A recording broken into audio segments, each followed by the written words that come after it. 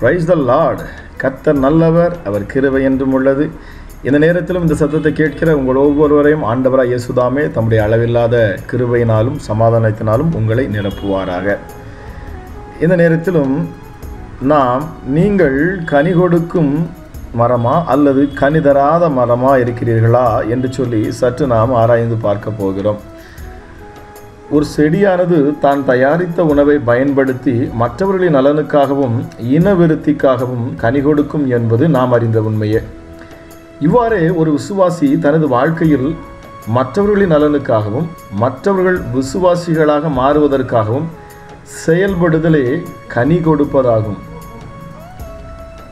ஒரு கொடி கனி கொடுக்க வேண்டுமெனில் அது செடியோடு நிலைத்திருந்தால் போதுமானதே.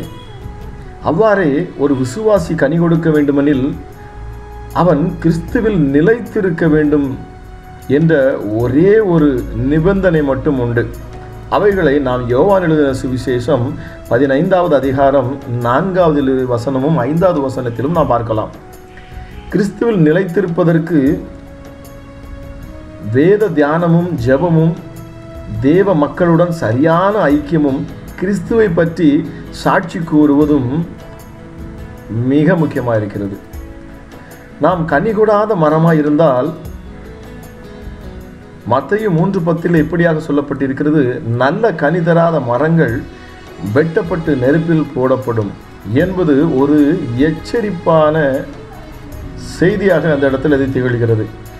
கனிகொடாத மரத்தை இயேசு சவித்ததை குறித்து கூட நாம் அத்தைய இருபத்தி ஒன்றாவது அதிகாரம் பதினெட்டுலேருந்து இருபத்தி ரெண்டு வரைக்கும் நாம் பார்க்கலாம். நல்ல கணிதராத மனிதனுக்கு இது நேரிடும் என்று யோவான் எழுதின சுவிசேஷம் பதினைந்தாவது அதிகாரம் ஐந்திலிருந்து ஆறு வரைக்கு நாம் பார்க்கலாம். தேவனுடைய நாமத்தை துதிக்கும் உதடுகளின் கனியாகிய ஸ்தோத்திரபலி நம்மில் இருப்பது மிகவும் அவசியம் என்று எபிரேயருக்கு எழுதின புஸ்தகம் பதிமூன்றாவது அதிகாரம் பதினைந்தாவது வசனத்தில் நாம் வாசிக்கிறோம். நாம் அனுதினமும் சற்று நேரம் தேவனுடைய பெயர்களை சொல்லியும் அவருடைய செயல்பாட்டுகளை குறித்தும் நாம் என்ன செய்ய வேண்டுமாம் நாம் அவரை துதிக்க வேண்டியது மிக அவசியமாக இருக்குது மேலும் அது மாத்திரமல்ல நாம் ஆத்ம ஆதாயம் பண்ணுவதும் கனி தருவதற்கு மிக முக்கியமான ஒரு அடையாளமாக இருக்கிறது. ஆப்பிரியமானவர்களே வேதத்தில் ஒரு மனிதன் கனி தருகிற மனிதனாக இருந்துச்சு இருந்தான் என்று சொன்னால் அவனை நாம் பார்த்த பொழுது கண்டுகொள்ளலாம். அவனோடு கூட பழகிற பொழுது நாம் அதை க கண்டுகொள்ளலாம். ஏனால் வேதம் சொல்கிறது ஒருவனுடைய குணாதிசயங்களை ஒருவனுடைய சுபாவங்களை நாம் எப்படி அறிந்து கொள்ளலாம் என்று சொன்னால் அவனுடைய கனிகளை வைத்து நாம் அறிந்து கொள்ளலாம் இவன் எப்படிப்பட்டவன் என்று சொல்லி. இவன் கிறிஸ்துவை உடையவனா? இல்லை பெயர் கிறிஸ்தவனா?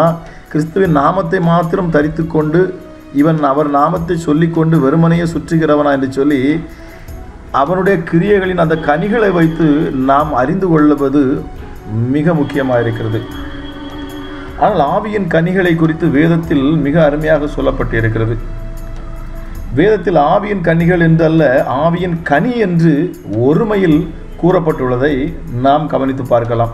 கலாத்திர எழுதின புஸ்தகம் ஐந்தாவது அதிகாரம் இருபத்தி ரெண்டுலேருந்து இருபத்தி மூன்று வரைக்கு நாம் பார்த்தோம் என்று சொன்னால் அங்கே மிக தெளிவாக சொல்லப்பட்டிருக்கிறோம். ஒரு கனியை எடுத்துக்கொண்டால் அதில் வாசனை சுவை திடம் ஈரப்பதம் மென்மை நிறம் உருவம் ஊட்டச்சத்து தாது பொருட்கள் ஆகியவை அடங்கியிருப்பது போன்று ஆவியின் கனியிலும் ஒன்பது பண்புகள் ஒரு சேர ஒன்றாக அமைந்துள்ளது. ஆ பிரியமானவர்களே இந்த ஆவிக்குரிய கனிகள் என்னவென்று சொன்னால் அன்பு சந்தோஷம் சமாதானம் நீடிய பொறுமை தயவு நற்குணம் விசுவாசம் சாந்தம் இச்சையடக்கம். இவை எல்லாம் ஒரு மனிதன் ஒரு நல்ல கனி தரக்கூடிய மரமாக இருப்பான் என்று சொன்னால் அவனுக்குள்ள காணப்படுகிற சுபாவமாக இருக்கிறது. இதுதான் கிறிஸ்துவுக்குள்ளும் காணப்பட்டது. இதுதான் மனிதர்களுக்குள்ளும் காணப்பட வேண்டும் என்பதற்காக தேவன் பிரயாசப்படுவதும் நல்ல கனி தரக்கூடிய மரம் இதனாலேயே அறியப்படுவார்கள். ஆ பிரியமானவர்களை இப்பொழுதும் இந்த வார்த்தையை கேட்டுக்கொண்டிருந்த உங்கள் ஒவ்வொருவரையும் ஆண்டவர் தாமே உங்களை ஆசீர்வதிக்கட்டும். நீங்கள் நல்ல கனி தரக்கூடிய மரமாக இருங்கள் என்று இயேசுவின் நாமத்தினாலே நான் உங்களை பார்த்து நான் பேசுகிறேன். கத்தர் தாமே உங்களை அளவில்லாமல் தம்முடைய கிருபையினால் நிரப்புவாராக. ஆமேன் ஆமேன்.